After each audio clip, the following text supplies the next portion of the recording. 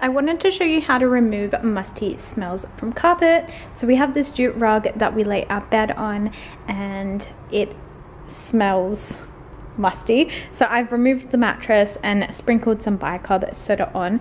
I'm going to let this sit for a few hours, but if you can let your carpet sit overnight, that's even better.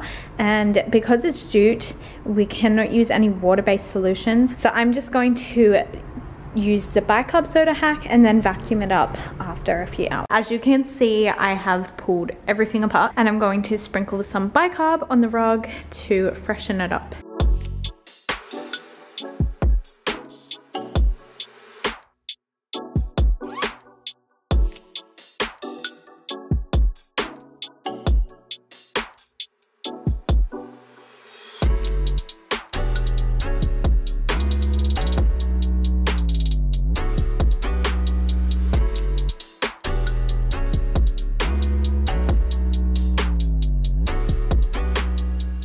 Gonna let that sit for a few hours and then I'm going to vacuum it up later on.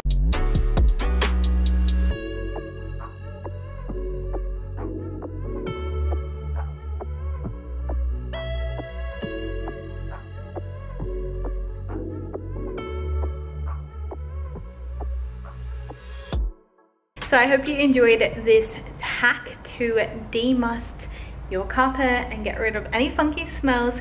If you did, give it a thumbs up, click that subscribe button, and I will see you in the next one. Bye guys.